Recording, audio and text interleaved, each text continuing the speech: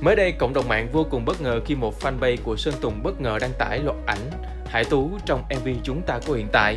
Bài đăng nhanh chóng nhận được nhiều sự chú ý vì kể từ thời điểm drama Trà Xanh nổ ra, rất hiếm fanpage nào của Sơn Tùng chia sẻ những thông tin, hình ảnh liên quan đến Hải Tú. Tất nhiên bài đăng này đã gây nên khá nhiều sự tranh cãi. Có những ý kiến chỉ trích Hải Tú lẫn fanpage và rất nhanh chóng sau đó admin của page này cũng la lên tiếng đáp trả những ý kiến tiêu cực, đồng thời đưa ra một văn bản về nguyên tắc hoạt động trang. Cụ thể, admin đã chụp lại một bài đăng và để dưới phần bình luận. Nội dung bài đăng cho biết đây là fanpage chuyên đăng tải thông tin hình ảnh để support cho Sơn Tùng cũng như gà nhà MTB. Thế nên việc để Hải Tú lên sóng cũng không có gì là quá bất ngờ. Admin cũng nhấn mạnh rằng ai thích thì tiếp tục theo dõi, còn không thì có thể unfollow. Những bình luận mang tính đã kích hay nhắc đến trà xanh sẽ bị chặn ngay lập tức. Về Hải Tú, thời gian qua đã xuất hiện những thông tin liên quan đến nữ diễn viên sau khoảng thời gian biệt tâm vì scandal. Tin tức bắt nguồn từ một group fandom của Hải Tú, trong đó nêu rõ người nhà của Hải Tú cho biết gà nhà Sơn Tùng vẫn ổn, công ty vẫn bảo vệ. Phía fandom cũng cho biết vì là tin nhắn riêng tư nên không thể cập nhật. Dù chưa biết thực hư, nhưng đoạn thông tin này nhanh chóng được chia sẻ và nổ ra nhiều tranh luận về việc xuất hiện trở lại của Hải Tú.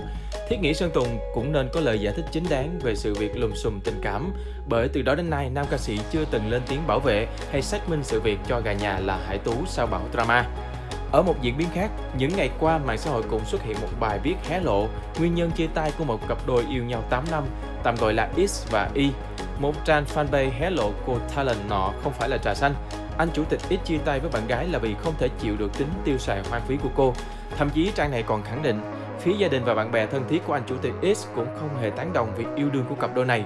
Thậm chí, nhà trai còn ghét ra mặt vì thói đỏng đảnh, thiếu lễ phép và tiêu xài phung phí của cô ca sĩ Y. Em trai chủ tịch X còn đùa là khi nghe anh mình chia tay, cả họ bày tiệc ăn mừng.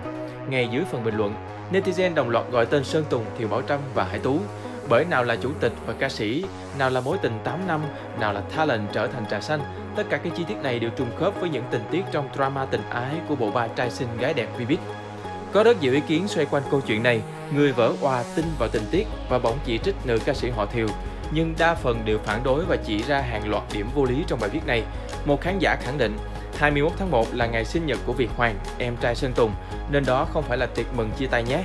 Dù anh trai mình xảy ra scandal nhưng Hoàng chưa bao giờ lên tiếng gì cho vụ việc này, nên pay bịa Hoàng nói xấu bà chị Trâm là không được rồi nha.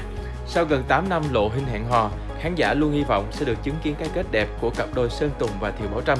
Thế nhưng vào đầu năm 2021, cả hai được cho là đã dành cho nhau lối đi riêng.